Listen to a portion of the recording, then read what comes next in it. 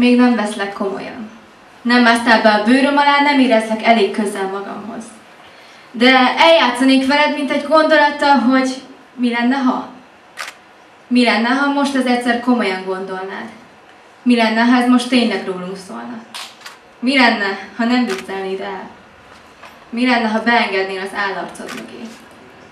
Mocorog, mocorog, nem mozdul, halk szuszogása is elhalkul. Minden bizonytalan, mint az építkezéseken az állványok. Sosem mertem átmenni alattuk. Persze azt mondjuk, hogy csak a szerep miatt, mert a darab így kívánja. Ez a feladat. Ezért ér össze a kéz, a száj, feszül egymásnak test és tekintet. Szív a szívhez. De akkor egy végtelenített pillanatra minden más lett, és mi ott éltünk akkor azon a kis darabka helyen, ahol a bőrünk összeért. Persze ez nem az, aminek látszik. Persze nem látszik, hogy ez az. Mint egy magas sarkú a kirakatban, amit szívem szerint felpróbálnék, de félek, hogy nem tudnék benne járni. Nem ismerlek.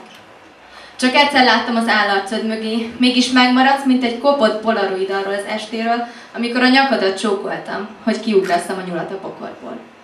Mocorog, mocorog, nem mozdul, halkszuszogású is elhalkul.